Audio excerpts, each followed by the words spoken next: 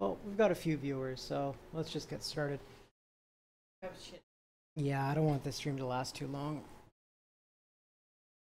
So, we'll basically just go through it exercise by exercise. Some of them I won't have a lot to say about, uh, so I'll just try and stretch that out as long as possible and talk about nothing. But if you guys have any questions that are related to this work, uh, Ariel will read them out and I will answer them to the best of my ability. So with this page, for the most part, it's actually done pretty perfectly in that it's not like without flaws, but what I'm really looking for is signs that she understands what she's meant to be aiming for with each stroke that she puts down. And so that means that these kinds of separations that we see here in the lines, the fraying on one end, that's completely normal. Uh, what I really look for is signs that when she drew the lines, that she uh, drew from. Hold on, is the video reversed? It doesn't matter. All right, whatever. I guess it's you. So uh, I look for signs that when her pen touched the page and took off, that it maintained a consistent trajectory. When we're drawing, the line doesn't necessarily like if we draw slowly, our line might start uh, wobbling and waving, and that's what we want to avoid. That doesn't mean that we're just matching the line perfectly. That's the goal, but it's not really what I'm looking for. All right. So, as you can see here, it's all very smooth. And, and, you know, to keep it short, that's essentially what I'm looking for. As the lines get longer, there is more separation here, but she's not constantly trying to come back to this line. Once you take a trajectory, you stick to it, and that's it. There is a little bit of arcing here uh, in these really long ones, because she is somewhat consciously trying to return to the line itself but it's not as long as it's not really wobbling i'm okay with it with these curved ones you do tend to see more of a wobble. Here you see how they're kind of coming in and out. And to be honest everyone does it with these particular curves and especially the waves just because they're kind of inconsistent. If you remember from the mark making rules of lesson one I actually say that if you're going to end up with lines that get real wavy, um, generally you want to construct them in parts. Like something like that, just because you don't want your trajectory to continually turn back and forth. Now, in this case, it's just an exercise to kind of get control of your arm and to use your shoulder, and so it's not a big deal here. Oftentimes, where something might be an issue, uh, in one place, we're not always concerned about it in everything that we do.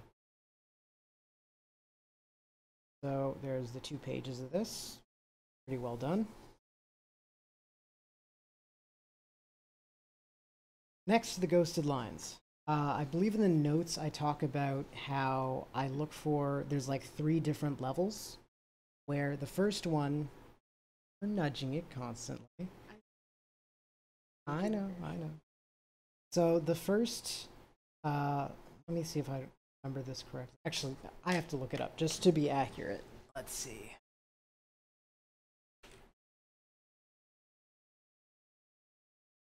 Should be page two.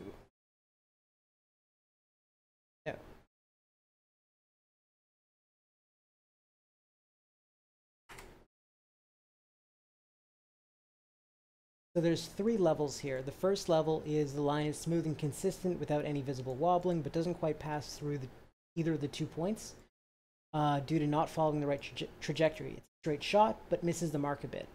Level two, the line is straight and smooth without any wobbling and maintains the correct trajectory. Does, however, fall short or overshoot both points. Level three, the line is straight, consistent, no wobbling. It hits both points and starts at one and stops at the other. So all three of these are valid. Even if you're just doing level one, uh, that's totally fine because these exercises are just meant to kind of understand your goals. And in this exercise, you've got three distinct goals. If you're still trying to meet goal number one, just focus on that. And so here, Uh, for the most part, we've got this one is a little bit wobbly.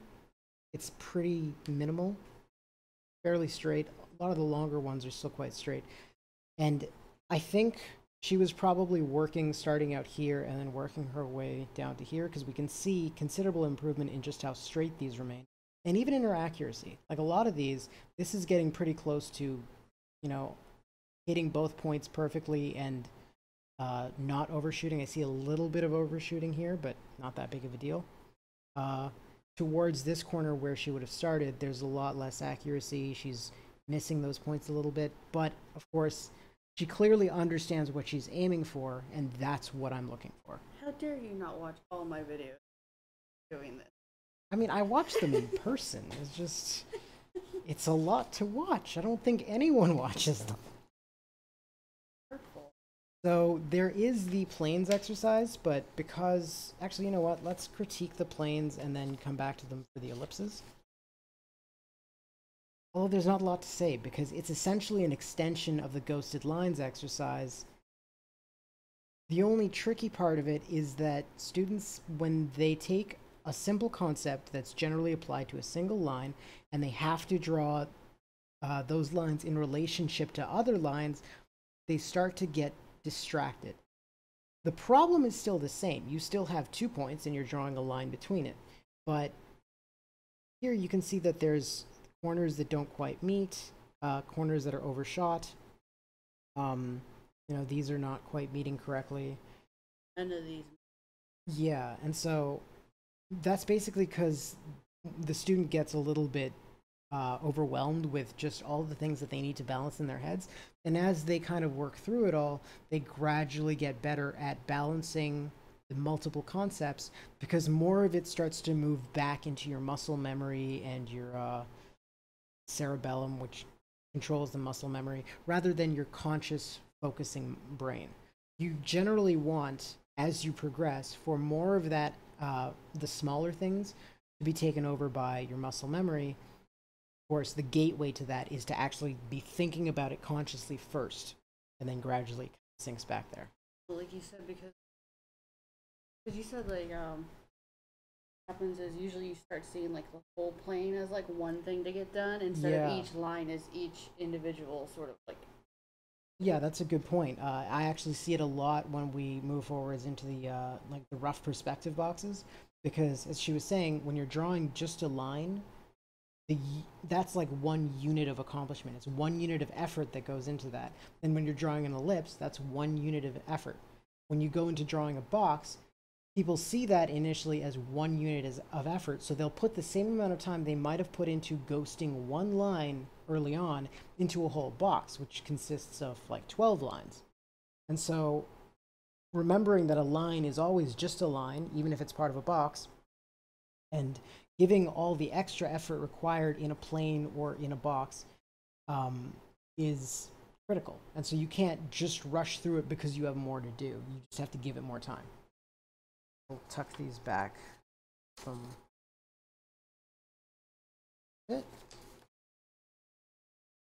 So here are our table of ellipses. They're pretty well done again. You'll basically find that for this whole set. Generally, I was watching her do it live uh, while I was at work. Um, and there are a few issues to keep in mind as you move forwards, but the main thing that I look for is first of all, she's drawing the ellipses very confidently, and so she's maintaining even elliptical shapes. There's not a lot of distortion here. Uh, sometimes you might see a student get a little bit pointy on one end, or if they're just drawing very slowly, it might come out like just. Do you have any extra paper? so prepared this drawer thing. I can get it out of the bag. Just built her a stack of drawers yesterday. Thank you. So,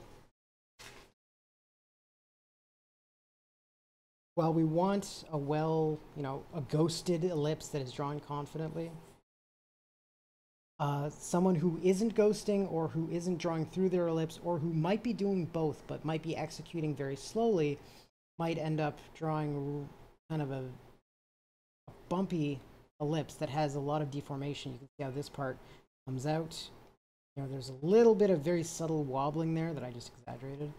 And so here it's smooth, it's clean, and even the line work, you can tell that it's different. When they draw slowly, it gets very thick and heavy because they're more ink uh, uh, because of the uh, the slower stroke more ink has a chance to get onto the page and they might be pressing a little bit harder whereas here it's smooth and clean and there's actually a visible tapering at the beginning and end of the line so here we're seeing that the the ellipses are drawn quite well uh, That's Okay. And so now the only things that I would keep an eye out for are her tendency to kind of spill out of the space that she's given herself. A lot of these fall outside of that space, and that's generally a matter of ghosting more, uh, putting more time into the preparation and planning beforehand so that you kind of stay within the bounds. Usually, when a student needs to focus more on accuracy, there's the risk that they're going to draw slower and then lose their confidence and end up a lot wobblier even though it falls nicely into the space we would rather have them come out like this and stick outside of the space and be less accurate but still be smooth rather than the opposite so this is the right kind of uh i guess the the order of priorities where first you nail getting it evenly shaped and smooth and then you worry about accuracy And the accuracy actually improves quite a bit on the second page. There's a little bit of spilling out, but especially when we're dealing with the, uh, like here, the square ones, it's pretty well done. There's still a little bit more over here. Maybe you're getting tired. Oh. They're ellipses. They're not circles. the round ones. They're all round. You know what I mean. The, the globy ones. No. Because globes are round. Stop. Okay. You wanna side? and I put it in the fire. I get to burn these, right? I mean, I do tell people that you know, as soon as you're done, you should treat it like you're just gonna throw them into a one of those hobo cans with the fire in them, uh, the oil drums, because I mean, I do probably need to critique them, but aside from that, don't be precious with them. They're not a work of art. But we can't put these on the wall. I mean, I was gonna, I was gonna decorate our apartment. those things are falling down again. By the way, those things that you put up, that we're sticky something- tack is crap. Yeah, Anyway. a nice way away from that topic. so overall these again pretty well done. There there's a little bit of deformation where this for example is not quite an ellipse. It's tucking in a little bit too much here. So that's mainly what i'm looking for this one too. Uh, this one's pretty well done. Um, so i look for first of all are the ellipses ellipses these are pretty slightly deformed it's not even that easy to tell that they're deformed. Some people will really stretch them to kind of occupy the awkward uh, space that they're given. And so we're not seeing it too badly here. The next thing that I look for then is whether or not they're touching all four edges. I've gotten some submissions where the students would literally just draw a circle around the center point and then call it done. It was like miles away from the edges. That was clearly not understanding the purpose of the exercise. Um, but these are pretty close, actually. And considering the limited amount of uh, deformation that I'm seeing, fairly well done. This was a pretty big miss. I believe that when you were streaming, you were yelling at me because I didn't tell you that you'd be using the planes to put ellipses inside of them, even though you've gone through this lesson before. I forgot. It's been a while. Yeah? My Okay. life was in flow. I suppose that's what she's saying. But uh, so th- that's kind of the trick. Students don't look ahead, and they shouldn't look ahead. So they just focus on drawing whatever planes that are fun and kind of extreme sometimes, and then they fall into my trap where now they have to put ellipses in them, in them and keep them from being deformed, and it makes it a very good exercise, I think. Uh, oftentimes, when I have a student who's not quite grasping either ellipses or ghosting lines or a combination of these, assigning a few extra pages of this full exercise is a great kind of cover for all of these components in the first two lessons or first two exercises, first two sections.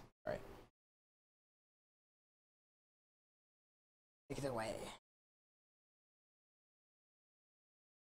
Now, I know that when Ariel drew these, she used a roll of tape as a guide. Do you still have the tape? Yes, I still have the same. Or. Found it. Good. So, pretty good choice. Uh, frankly, I mean, you can try and freehand the curves, but it's going to be a pain in the ass. And what's important here is that she's able to keep the center line fairly center, and since these are consistent, that center doesn't really change. And so it just kind of clears away any of the struggle. So if you have a roll of tape like this, I mean, it's a good thing to use, or really anything with a diameter about this big because as it gets smaller and smaller, that curve is going to get more and more extreme and it'll be a little bit harder to use. So if you're using something else that's circular, just make sure that it's pretty large. So here, I think I'm seeing a pretty consistent tilt some of these ellipses. So like here, I'd say the minor axis that we're supposed to be aligning to this line is more like here. So forget about the fact that it's a little bit positionally off. Actually, no, it's probably not. It's probably closer to here, but the angle is just slightly off from this line, and so you can see it even more over here.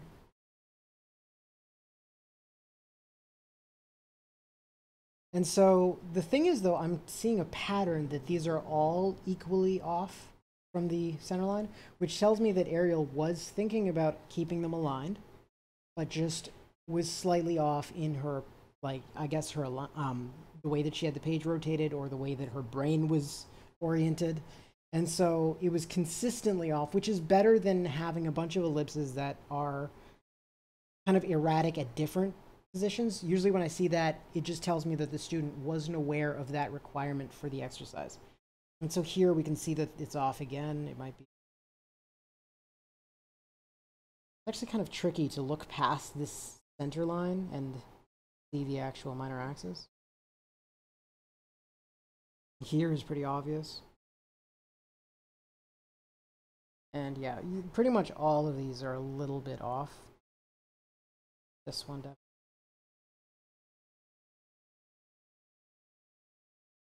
So that's definitely something to look for. Um, it's pretty common to see that in students. Oh. Yeah. Anyway, so just keep an eye on that alignment, and uh, while you're drawing them, you know, draw a line, and then make sure you're ghosting. Or not using shoulder. That's pretty well aligned.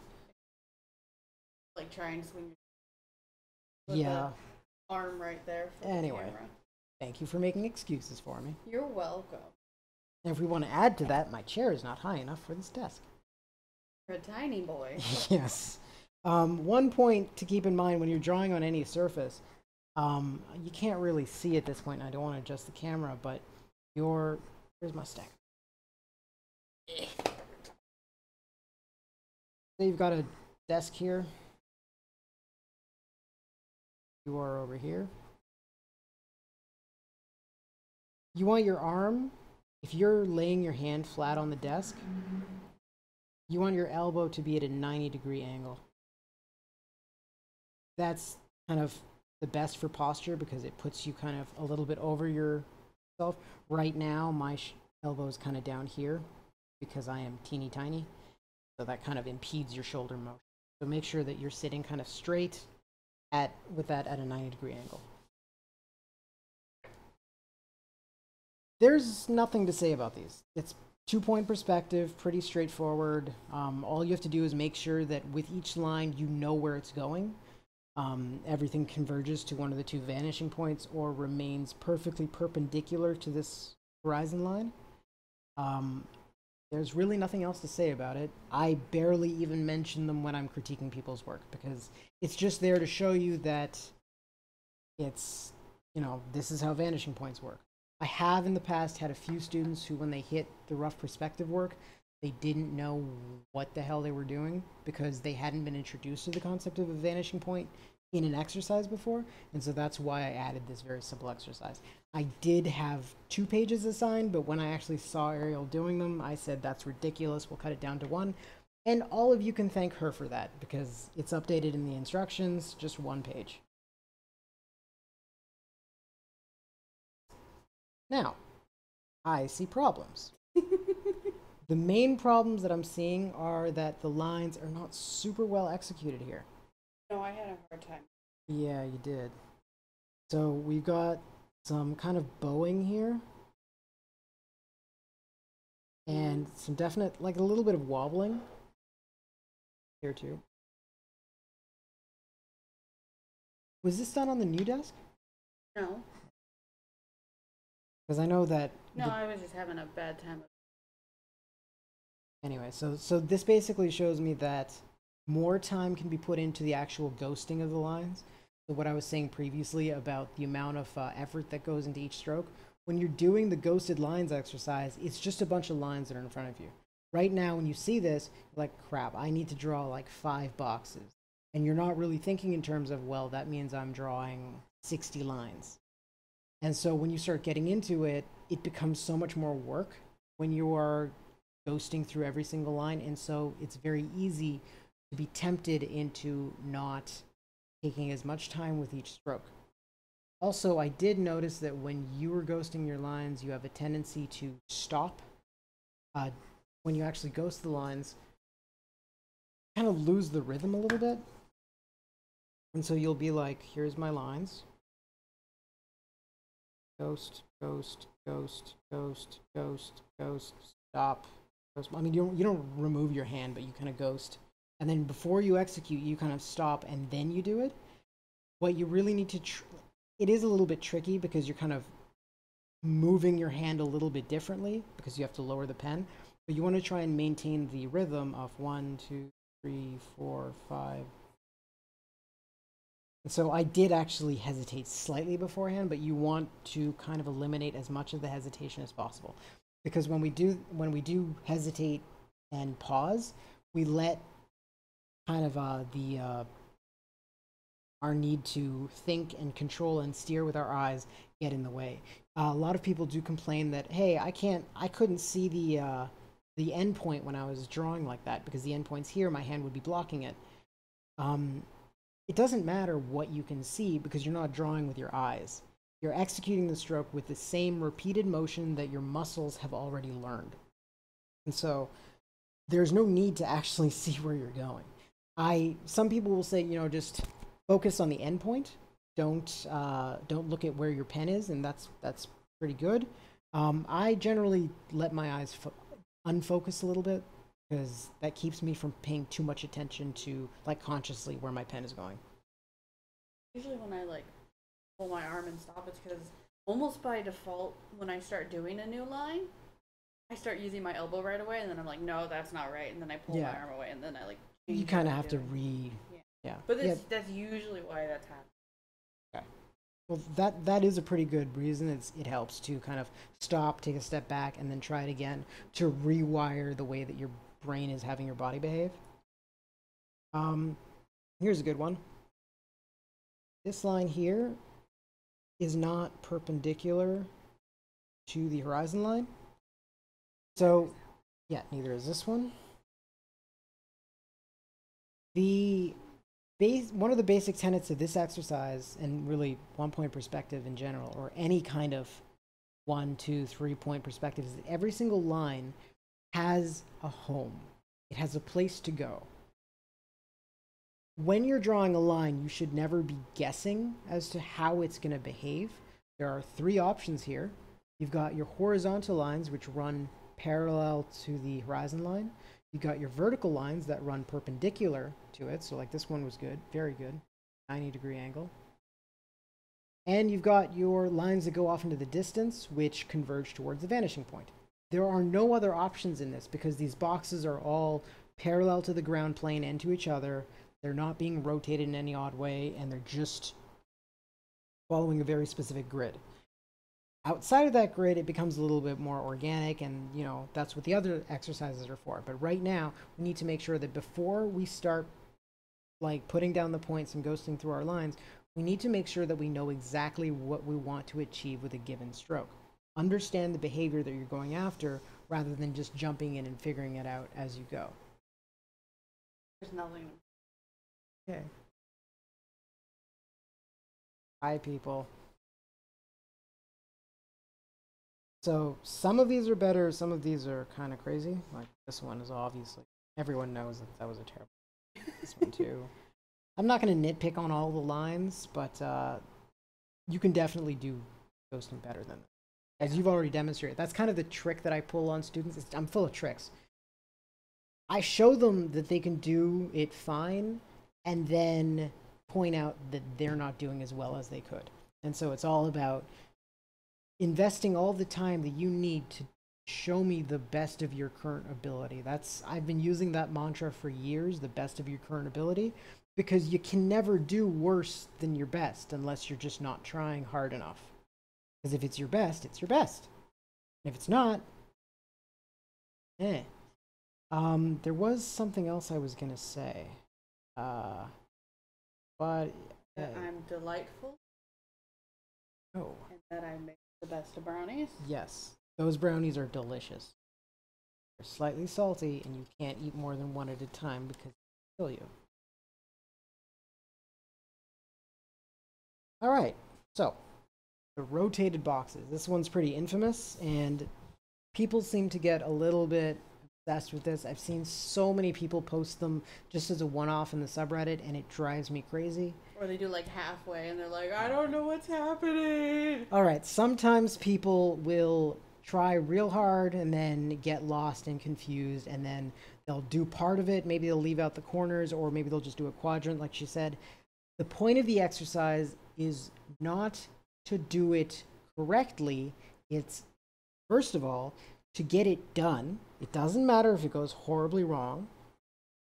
But the point is, first of all, don't abandon things. See it through to the end because that's how you learn most from it. We're not here to pin something to your fridge.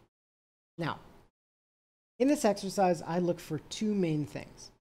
First of all, I look to see whether or not the student has maintained consistent and narrow gaps between the boxes. And generally, I do see that, especially on these major axes. I see that this one here is getting a little bit narrow. And if that's more of a triangle than a rectangle, so they're not really parallel there. Uh, here, this one's great. This one's pretty good.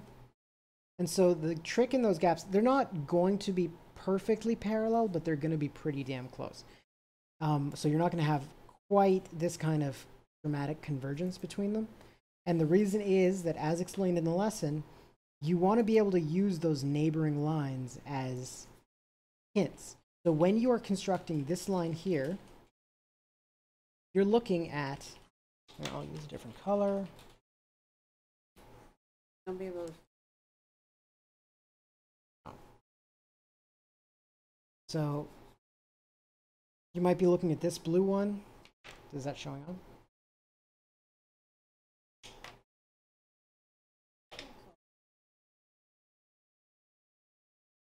And you'll be looking at this green line, which I've just horribly overdrawn when you're drawing this one. You're basically matching up them up to their neighbors because you need them to be almost parallel when you understand those relationships, it becomes a lot easier to construct those additional lines. And it doesn't feel like you're just guessing.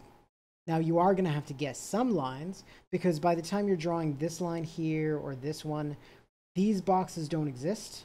These ones out here. So you do have to guess some of them, but you're, the, the point is that you're limiting, you're eliminating as much unnecessary guesswork as possible. Anyone who's received one of my critiques definitely received that phrase. I I've been writing so many critiques over the years that I basically have a set of phrases that I just pull out of my pocket constantly. It's just memorization at this point. Does it look like it's digivolving into Hey Arnold? Do you mean if it is it getting a football Yeah. shape? A little bit, yeah. So the reason for that that's the second point. So first one was is she keeping her gap uh, her gaps between her boxes narrow and consistent? Somewhat, and for the most part. The second one is is she covering the full range of rotation uh, around on each axis? And she's pretty close. Usually, what I look for here is uh, let's do this one. So you've got this line here going off to some vanishing point. Same with this one. Now, when you look at the next box over, you want to see the same pair of lines and then see what they're converging to. The vanishing point, so for these pink ones, it's way the hell over here somewhere.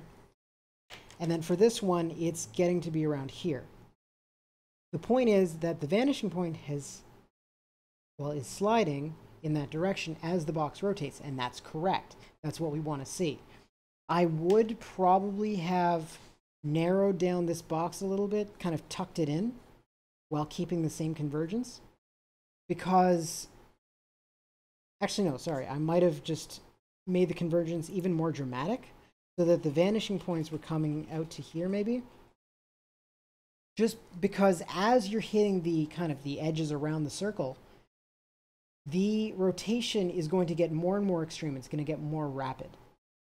Otherwise, you get the impression that the box is starting to get a little bit stretched.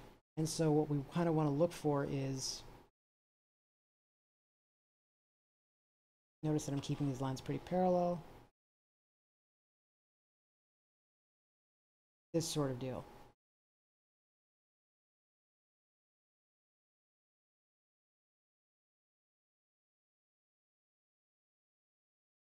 And so you can tell that this has rotated.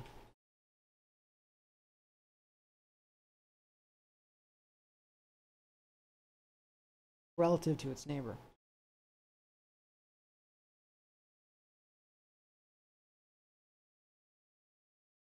Hope that's remotely clear.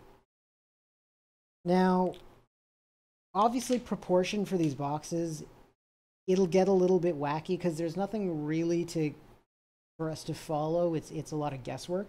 So I don't really worry too much when these things get a little bit too like oblong or if things get a little bit crazy. Usually a student who's done this in their first round, if they were to do it again, they've kind of learned a lot from just you know, you put down a mark and you're kind of committed to it. You might have learned immediately what you did wrong. And so you might apply what you learned there on the next attempt. But generally, I don't want people to grind these. It's not really the point. It's just to understand the relationships of these boxes as they're rotating relative to one another. Now, last of all, there's the organic perspective. I'll turn it this way. So here, honestly, I just want students to get this exercise done.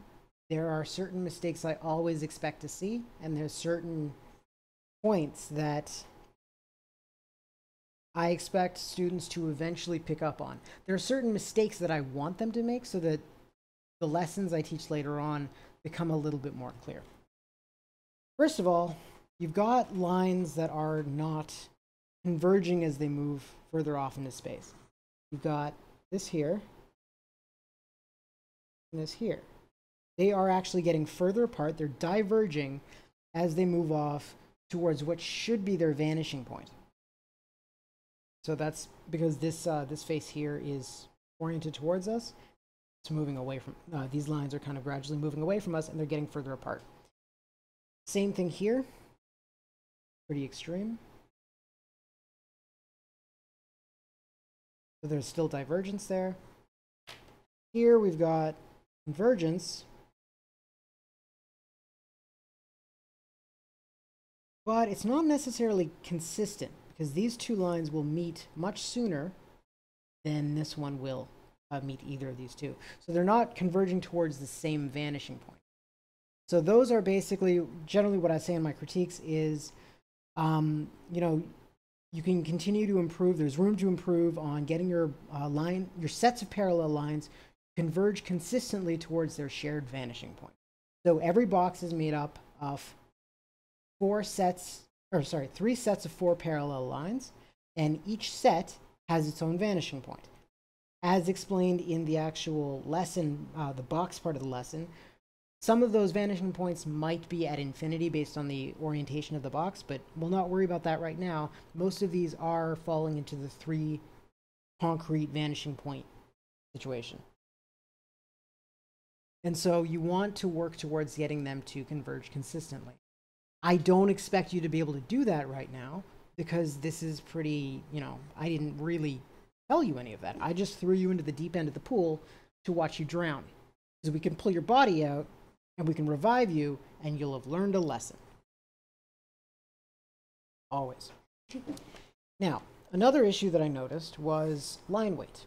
We, again, haven't talked about this. I talk about this in the 250 box challenge.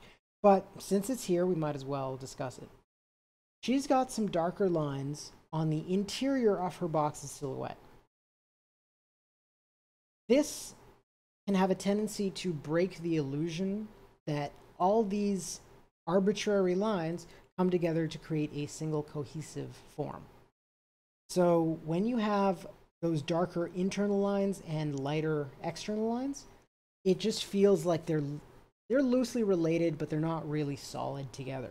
Generally, if you have a little bit of extra line weight along the silhouette of the form, I realize that the camera's up here, so like silhouette of the form, I should just draw it.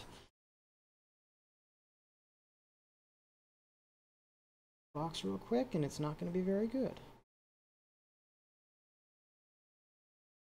So as you can see here, it's just a silhouette, and if we put a little bit of extra weight on the outside, and then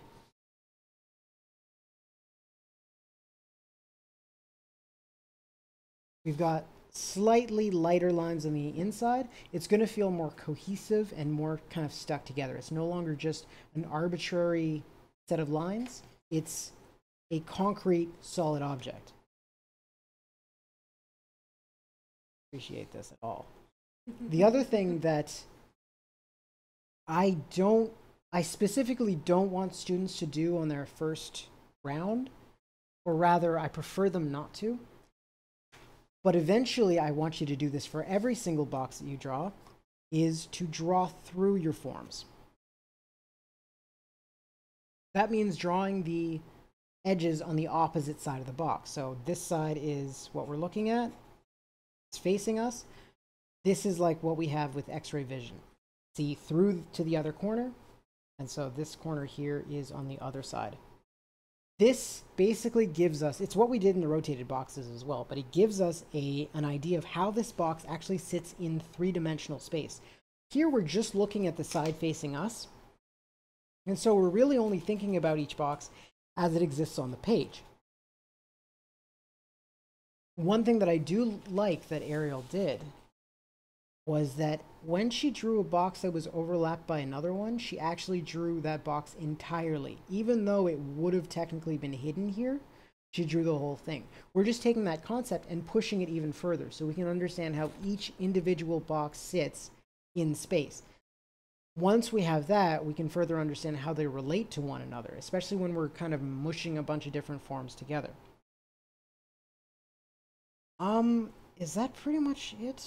Oh, well, that, that whole concept of drawing through your boxes, I don't ask students to do it for this exercise because I first want them to kind of get familiar with what it feels like to not use this, this very useful technique.